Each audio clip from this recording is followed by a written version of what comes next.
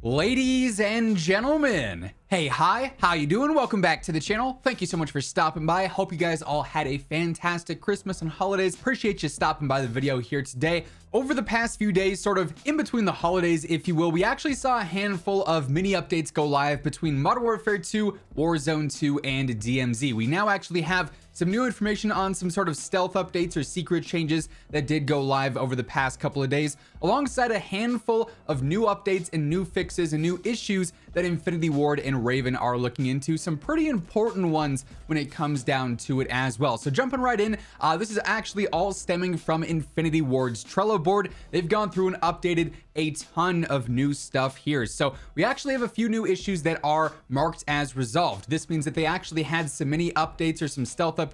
I'm sure you might have noticed that a handful of times over the past couple of days. You logged on to the game and you got the update requires restart, or maybe on PC, you noticed that, you know, on Battle.net or on Steam, there was like a small like 300 meg update or something like that that's usually where we get some changes like these. They don't go like and post a full-on patch note update over on Twitter or anything because it was more of a hot fix update that resolved one specific thing or something like that. But here we got a couple of new things that are resolved and the fixes are now live. So for one, the bomb drone field upgrade is now actually back. Uh, initially, it was removed from the game entirely and disabled in game entirely because it was causing a ton of different crashing and freezing issues. There would be issues in Warzone where basically anyone in the general vicinity of a bomb drone would end up crashing. If you were on PC, it would sometimes blue screen your entire game. In multiplayer, if you pulled it out, the same thing could happen. So the bomb drone was the problem with a lot of crashing in game. They did, however, find a way for it to not cause those issues. So the bomb drone has been re-enabled across the board. So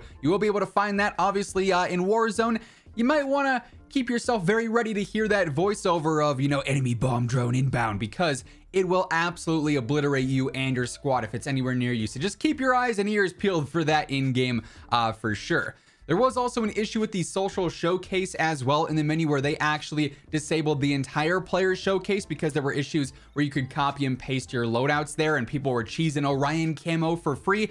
Hey man, I put in way too many hours and was losing my mind getting Riot Shield, uh, you know, streaks and whatnot. I earned that Orion camo. These like L3, R3, up, down, up, down, A, B cheats to get it off the menu. I ain't about it. But they did actually end up fixing that. So now you can't copy things off of a showcase. So the player showcase is now completely back and alive as well. Uh, you guys might recall that a few days back, we also talked about a new issue that Infinity Ward posted on their Twitter saying, hey, we're aware of a lot of issues going on with mastery camos and how they are not tracking or unlocking for certain criteria, even though you definitely have it completed. And they actually expand on this more within their Trello board update here. And they say that a fix is in progress for this, which means likely this is going to be one that is fixed here uh, very, very soon, just shortly after they would return from break, I imagine. And here they say, we are in investigating an issue where some players cannot acquire additional camos in gold, platinum, and polyatomic tiers if they have already acquired enough camos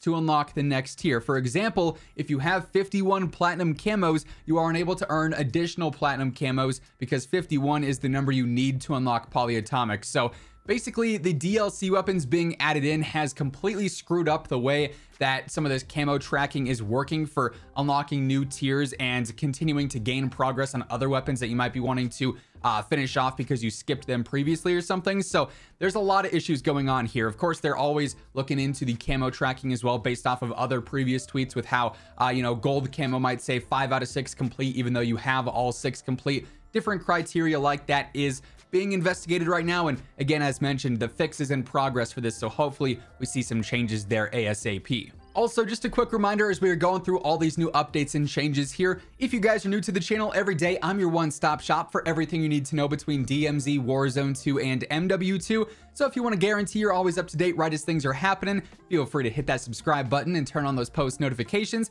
Also, if you guys enjoy this video, let me know by dropping a like on it as well. Let's try and aim for 2,000 likes on this one. And with New Year's coming up, I'm sure you've got some resolutions in mind. How about starting your year off right with Gamer Advantage? Getting your eyes right. Of course, you're probably gaming. Obviously, if you're watching the channel, you are a fan of Call of Duty or you play Call of Duty a lot. You might be working or doing school looking at screens for long periods of time. On top of that, if you are looking at screens all day long, you gotta get yourself a pair of Gamer Advantage glasses if you have not already. These things are going to reduce your headaches. I, for one, noticed a very big difference right away when I started wearing my Gamer Advantage glasses. I've always gotten headaches all throughout my life, especially when I looked at screens for, you know, if I'm grinding camos when the new game is out or if I'm editing, making content.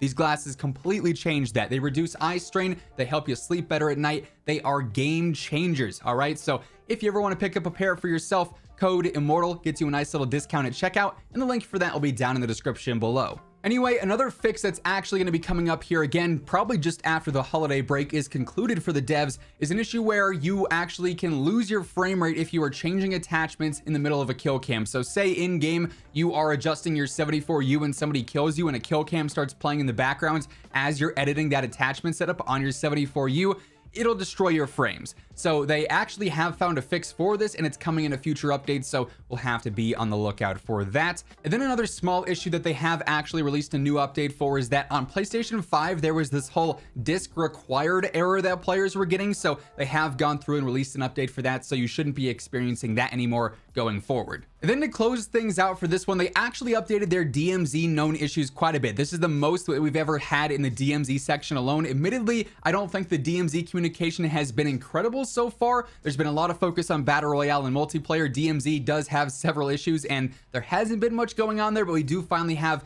uh, a handful of issues now listed here. So they are aware of an issue where loadout and equipped items do not load into a match with a player, but are back on soldier after the match. So this is essentially when you intend to bring certain things into your game, then they just don't come into the match with you. However, you don't actually lose these items. It's not like you died and lost your stuff like your insured weapon per se. This is just a straight up issue of like certain items and equipment showing up in your menu but not in game but they're not being removed. So at least they're not being removed but obviously if you're trying to access certain things with key cards or you want to bring in certain equipment that is something that is uh, drastic to core gameplay. So hopefully that one is fixed here soon. They're also however aware of an issue where the insured weapons are not equipping when loading into a match and this is an issue that can actually mess you up big time because sometimes if your insured weapon doesn't load in you uh, you know exfil or you die and then it deletes your insured weapon time and you got that two hour countdown yet again. Sometimes that happens, sometimes that doesn't.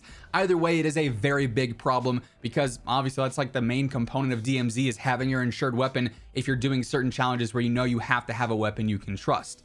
Uh, they're also aware of a tac map bug in building 21 where it doesn't show up correctly and we've actually got some very interesting stuff to talk about with the tac map in building 21 coming up in a future video so stay tuned for that you're not going to want to miss that one uh, they are also aware of an issue that kicks some party members out after a successful exfil as well. So just some simple UI stuff there with the party uh, exfilling together. All in all, though, handful of new fixes that are already live in game and some very big ones getting worked on here for some future updates as well. Solid stuff all around, in my opinion.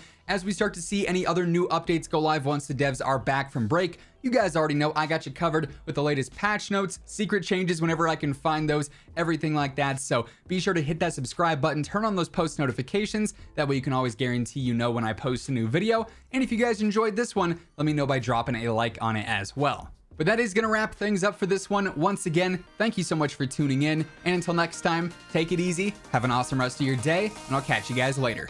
Peace out.